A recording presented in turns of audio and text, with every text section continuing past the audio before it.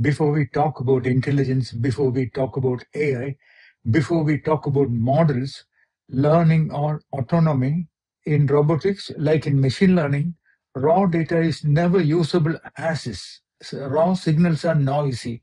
Raw motion is jerky. Raw control is blind. Pulse width modulation or PWM servos, unstructured wiring, open loop control. This is the raw data stage of robotics. What we are doing here, moving from PWM, that is pulse width modulation, to serial bus servos, is pre-processing the robot itself. We are cleaning signals, we are adding feedback, we are structuring communication, we are making motion observable, measurable, and reliable. Only after this preparation can higher level intelligence work. Only then can planning, learning, and AI make sense. This is exactly why data pre-processing comes before model building and why robotics readiness comes before robotic intelligence. Hello everyone, this is Sree from Techie Talks AI and welcome to a brand new robotic video series and this is the second video in this series. And in this series, we don't just build robots, we build them the right way from foundations up. Let me start with a confession. Most robots don't fail because of bad AI. They fail because of dumb muscles. So look at the image on the left. See the number of wires. Each pair of wires is expected to be controlling one servo motor. A single arm of a robot itself can have six servo motors or six degrees of freedom minimum.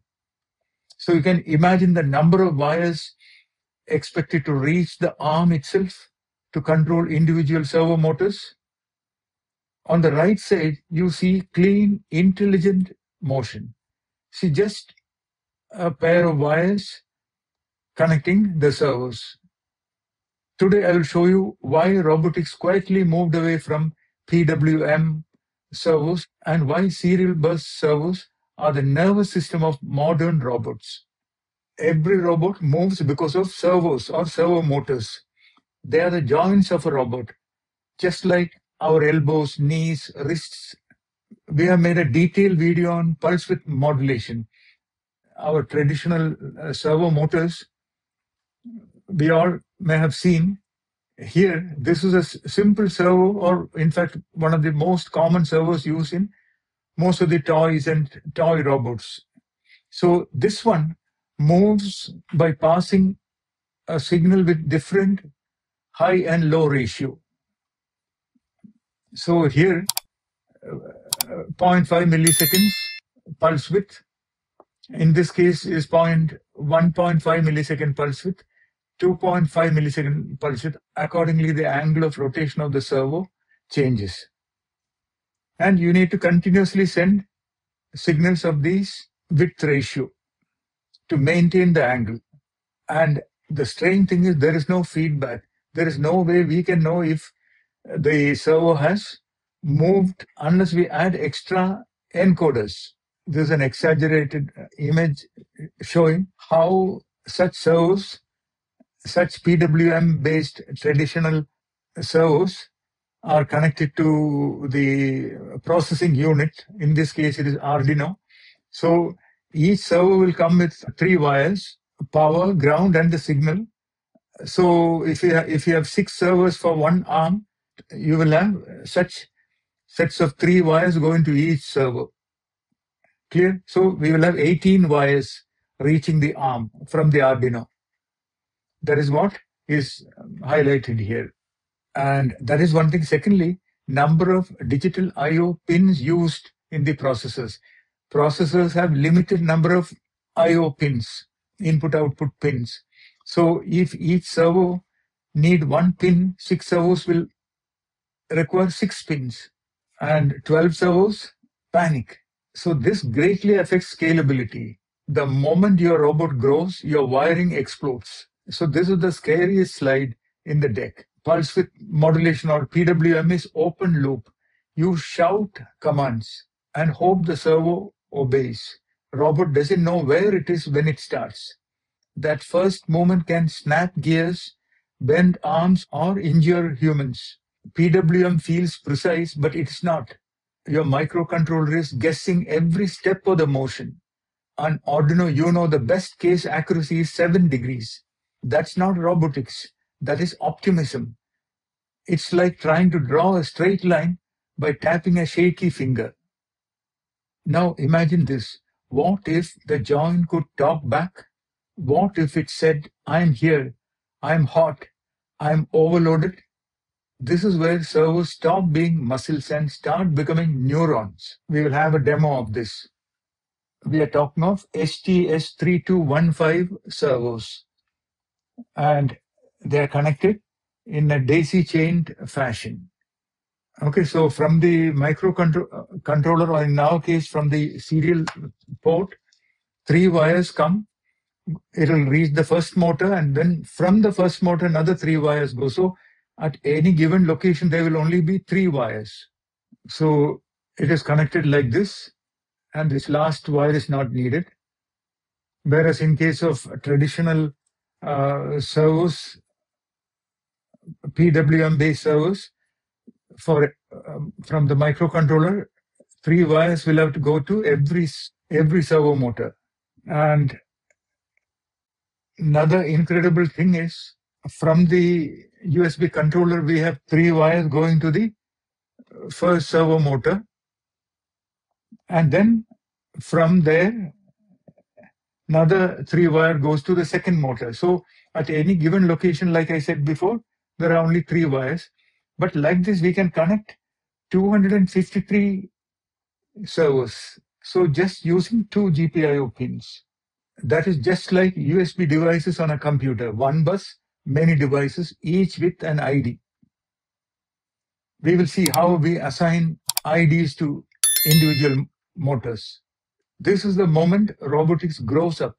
The motor tells us voltage, power is healthy, each individual motor gives us the feedback. All these can be measured. I have created a Python script to demonstrate this. So this turns motion into closed loop control. Another interesting thing is on the left, you see the PWM uh, based traditional servo movement. It is jittery. It's not smooth. It's not optimal. Whereas in case of serial bus based servo, the servo can think and optimally move. You don't say how to move and you say where to go and how long. There are different modes, wheel mode, damping mode, intelligent grasping. We moved complexity out of firmware and into hardware. So here is a summary. So wiring complexity is simple for serial bus servo. Number of pins used is minimal number of pins used is just two. And we have real-time telemetry feedback, motion control, onboard trajectory planning, and protection, load, temperature, and overcurrent. Scalability, excellent, up to 253 servos can be connected to two GPIO pins. And we can control via the PC as well as MCU in this case, we will use USB adapter. So look at this, PWM 7 degrees, serial bus 0.066 degrees. That is the difference between pointing roughly and placing a needle. This is how simple it actually is. Daisy chain servos, plug adapter, send commands from PC or Python.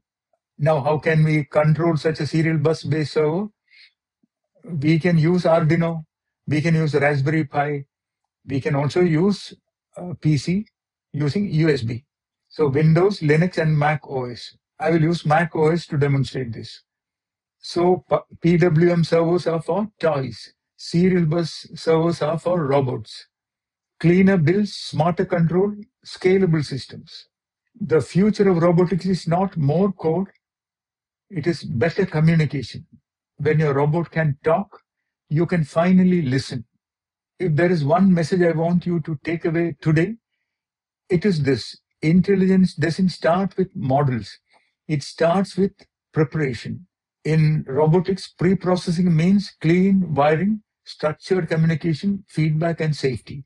In AI, pre processing means clean data, correct formats and meaningful signals. Skip this step and no amount of AI will save your system. That is why this robotic series exists to help you think like a system designer, not just a coder. Let me switch on the power. You can use any DC adapter. I'm using a bench power supply. I'm giving 7 volts. Now, if you look at the USB serial board, it has got DC, in, in, my, in my case, it has got DC 6 volt to 9 volt available here. That can be, so DC input 6 to 9 are these two pins and 8 to 24, these two pins. Depending on your servo's voltage, my servo is 7.4 volt servo. The gear ratio, etc., we'll see later. So since this is a 7.4 volt servo, I'm connecting it to the V1 side serial bus. This V2 side is for this 8 to 24 volt range. Okay. And these pins are for Arduino, which we can ignore. So USB connection, you need to use this micro USB port, but the newer serial bus also comes with a USB-C port. Okay, so so this goes to the computer. So I'm going to connect this to my MacBook's USB port, and then the power light comes on. This 3.3 uh, 5 volt selection you can ignore, but that is for connecting microcontroller. We are using USB.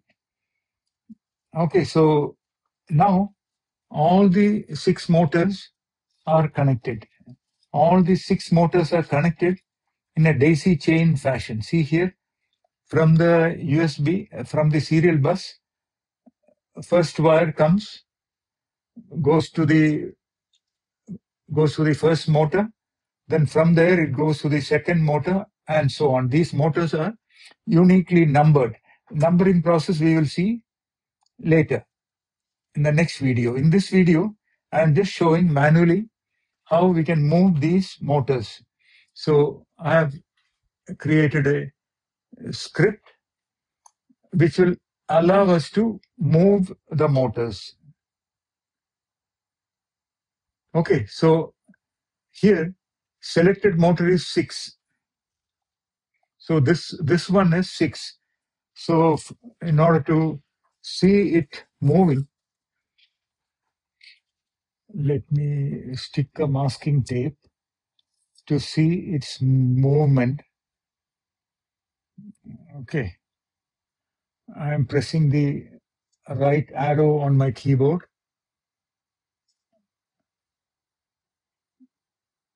See, now I'm pressing the left arrow.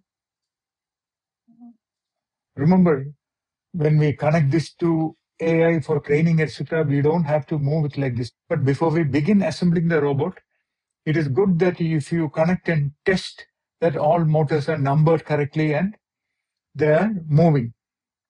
Otherwise, after assembling everything, you find that one motor is not moving, then you need to disassemble. Okay, so now do you see that voltage being displayed? That is the feedback that is coming from the servo. So if I increase the voltage to 7.5, see, see the reported voltage also increased. And you can also see the, the temperature. And it also tells us its current position.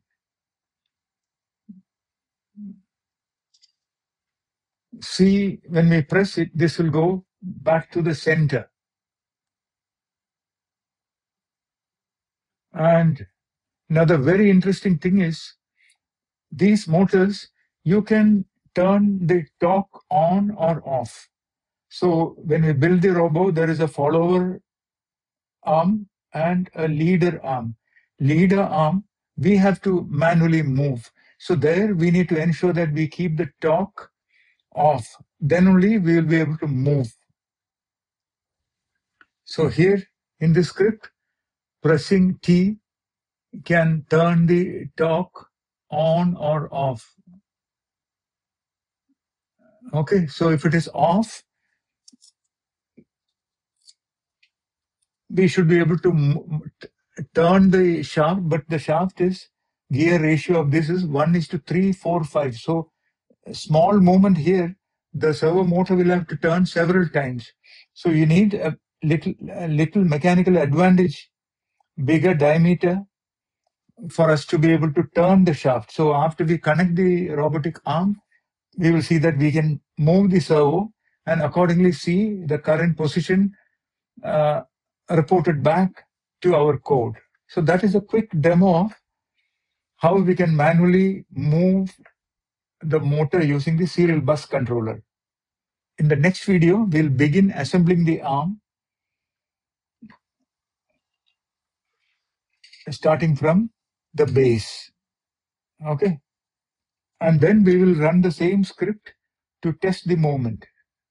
That is the idea. So in this video, we covered the serial bus controller and serial bus based servo motors. If this video helped you understand why readiness matters, please like this video, share it with someone building robots or learning AI, and subscribe to Techie Talks AI for deep practical engineering content. I also offer one-on-one mentoring for robotics, AI, and system design, especially if you want guided real-world learning instead of random tutorials. Drop your questions and thoughts in the comment section. I read them all. This is Sree from Techie Talks AI. In the next video, we will go deeper into installing the libraries needed. That is from prepared motion to intelligent behavior. Until then, build smarter, not harder. Want to level up your tech skills without the struggle? Mentor Expert gives you private sessions, expert insights, and real solutions fast. Book your personalized tech breakthrough now.